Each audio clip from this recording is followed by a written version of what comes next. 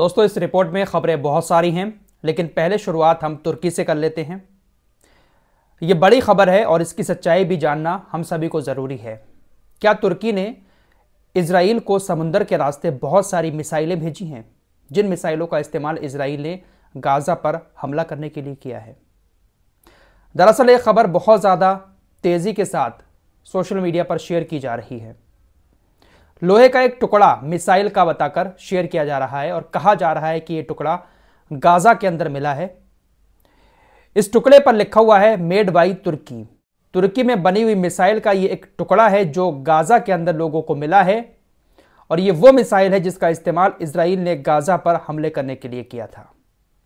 लोग कह रहे हैं कि तुर्की समुद्र के रास्ते, खाने के अलावा, सामान के अलावा हथियार भी इसराइल को दे रहा है। और उन हथियारों का इस्तेमाल इसराइल गाज़ा पर हमले करने के लिए कर रहा है। ये तस्वीर सामने आई।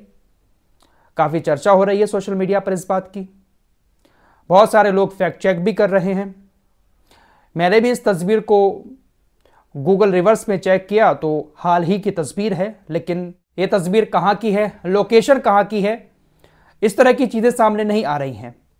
लेकिन बहुत तेज़ी के साथ मिडिल ईस्ट के लोग यूरोप के लोग भी यहाँ तक कि इस फ़ोटो को शेयर करते हुए यही लिख रहे हैं कि तुर्की इसराइल को मिसाइल दे रहा है। तुर्की के अंदर भी हथियार बहुत ज़्यादा बनते हैं ड्रोन्स भी बनते हैं तुर्की के अंदर। तो हो सकता है कि भाई समुद्र के रास्ते जो खाना पानी आ रहा है, उसी बीच में इसराइल को तुर्की हथियार भी देता हो। क्योंकि तुर्की नाटो का सदस्य है, याद रखना। और नाटो में अमेरिका की चलती है। जितने भी देश नाटो में शामिल हैं अमेरिका का कहना मानते हैं तो हो सकता है कि तुर्की भी अमेरिका के कहने पर नाटो का सदस्य होने के नाते इसराइल को हथियार वगैरह देता हो। फ़िलहाल इस मामले को लेकर आप लोग क्या सोचते हैं, कमेंट बॉक्स में ज़रूर बताना। अगर ऐसा है तो इसकी हकीकत बहुत जल्द सामने आ जाएगी, और भी ज़्यादा फैक्ट चेक इसका किया जाएगा। लेकिन अभी फ़िलहाल जितना हो सका किया, कोई पुख्ता सबूत नहीं मिला है। लेकिन ये मेड बाई तुर्की मिसाइल का एक टुकड़ा ज़रूर सोशल मीडिया पर वायरल हो रहा है। बड़ी खबर आ रही है कि अमेरिका एक तरफ़ ढोंग कर रहा है सीज फायर का एंटनी बिलिंकन कहाँ से कहाँ भागा फिर रहा है? इतनी अपने देश की ये लोग बात नहीं कर रहे हैं अमेरिका वाले, जितना इसराइल की बात कर रहे हैं। ढोंग कर रहे हैं कि सीज फायर होना चाहिए, गाजा के ऊपर हमले नहीं होने चाहिए, ये है, वो है। लेकिन दूसरी तरफ़, जो बाइडन के प्रशासन की तरफ़ से खबर आई है कि बहुत सारे बम और बहुत सारा गोला बारूद इसराइल को भेजने के लिए अमेरिका रेडी है। वॉल स्ट्रीट जर्नल की यह रिपोर्ट सामने आई है। दोस्तों, अरब लीग का नाम तो आपने सुना ही होगा। एक ओआईसी संगठन है मुसलमानों का, अरब लीग है। तो अरब लीग में जो मुस्लिम देश शामिल हैं, उसमें से कुछ मुस्लिम देशों ने अरब लीग से कहा है, अपने संगठन से, कि आप उन सभी इजरायली संगठनों को आतंकी लिस्ट में डालें, जो लोग वेस्ट बैंक के अंदर, मस्जिद अक्सा के अंदर पंगा करते हैं, फिलिस्तीनियों पर हमला करते हैं, मस्जिद अक्सा में जाकर तोड़फोड़ करते हैं। ऐसे सभी इसराइली संगठनों के ऊपर प्रतिबंध लगाया जाए और उनको ब्लैक लिस्ट में डालकर आतंकवादी घोषित किया जाए। मुस्लिम लीग के कुछ देशों ने इस तरह की मांग की है अपने संगठन से। वैसे मुस्लिम लीग हुआ या ओआईसी हुआ, इन सभी को सबसे पहले इसराइल को आतंकी देश घोषित करना चाहिए, ऑफिशियली तौर पर। क्या आतंकी डिक्लेयर करने का हक सिर्फ़ अमेरिका को ही है? अरे भाई ओआईसी भी कोई छोटा मोटा संगठन थोड़ी है। मुस्लिम लीग जैसा संगठन कोई छोटा मोटा संगठन थोड़ी है। बाकायदा स्टेटमेंट जारी करें और इसराइल को आतंकी देश घोषित करें। कहीं पर भी इसराइल का ज़िक्र करें फिर तो आतंकी देश इसराइल के नाम से करें। जिस तरह से अमेरिका हमास का ज़िक्र करता है या इसराइल हमास का ज़िक्र करता है, हुतीज का ज़िक्र करता है तो उनको आतंकी संगठन कहकर बुलाता है इसी तरह से ओआईसी जैसे संगठन या मुस्लिम देश इसराइल को जब बुलाएँ तो आतंकी देश के नाम पर बुलाएँ। लेकिन इनकी औकात नहीं है ऐसा कुछ करने की। फ़िलहाल एक और बड़ी खबर यह है इसराइल का यह जो कट्टरपंथी नेता है बेन गबिर इसने एक बहुत बड़ा ऐलान किया है और यह मांग कर रहा है कि रमज़ान के महीने में फिलिस्तीन के लोगों को मस्जिद अक्सा में जाने पर प्रतिबंध लगाया जाए। इसराइल का राष्ट्रीय सुरक्षा मंत्री है ये, और इसकी बातें देखिए। और ये लगा भी देगा प्रतिबंध। अपनी सेना को वहाँ पर तैनात कर देगा। फिलिस्तीनियों को रमज़ान के महीने में भी मस्जिद अक्सा में नहीं जाने देगा।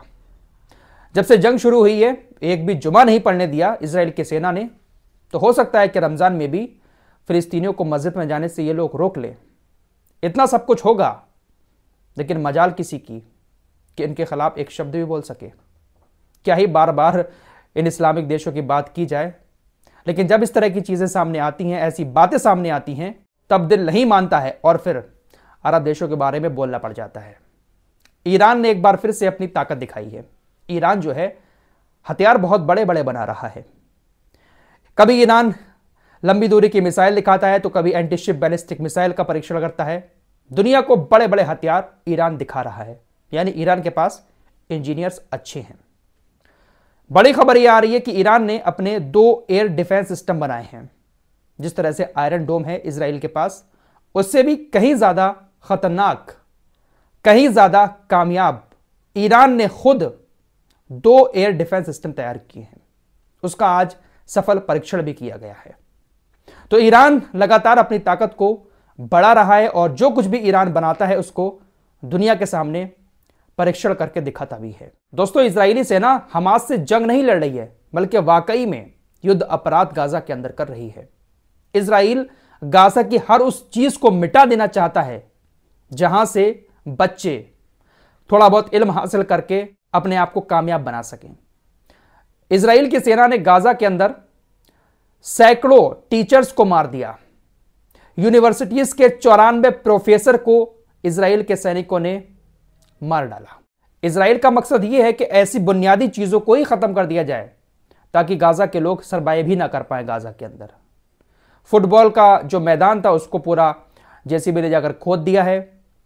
सैकड़ों कोचेस को, फुटबॉल टीम के खिलाड़ियों को इसराइली सेना मार चुकी है। मतलब बुनियादी ढांचे को ही इसराइल तबाह कर रहा है, जो पार्लियामेंट बना हुआ था जो भी चीज़ें थी गाजा के अंदर, सबको इसराइली सेना खत्म कर चुकी है। दोस्तों इसराइल ने गाजा के ऊपर जो सात अक्टूबर के बाद से हमले किए हैं, उस हमले में अभी का जो मौत का आंकड़ा है, वो अट्ठाईस है। लेकिन दोस्तों, ये आंकड़ा इतना नहीं है। मौतें कहीं इससे ज़्यादा हुई हैं। शायद हो सकता है कि मौतें पचास हज़ार तक पार हो गई हों। क्योंकि आज गाजा के सरकारी मीडिया कार्यालय की तरफ़ से बताया गया है कि गाजा के अंदर तकरीबन 134 दिनों में 2512 हमले हुए, खतरनाक वाले हमले, जिसको नरसंहार बताया गया है। और इस नरसंहार में पैंतीस लोग लापता हैं, जिसमें से अट्ठाईस लोगों की मौत कंफर्म हुई है, जिनकी हॉस्पिटल में जाकर मौत हुई है।